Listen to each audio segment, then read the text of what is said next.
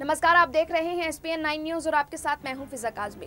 राजस्थान की गहलोत सरकार ने महिला सशक्तिकरण की रुकावटें दूर करने के लिए अहम निर्णय लिया है। गहलोत कैबिनेट में महिलाओं को सशक्त बनाने के लिए प्रदेश की नई महिला नीति के प्रारूप को मंजूरी दे दी है। नई महिला नीति सतत विकास लक्ष्य 2030 के अनुरूप बनाई गई है। महिलाओं और बालिकाओं के समग्र विकास के लिए शीर्घ तैयार होने वाली नई महिला नीति 2021 से महिला एवं बाल विकास कल्याण के लिए विभिन्न विभागों के बीच बेहतर समन्वय किया जा सकेगा।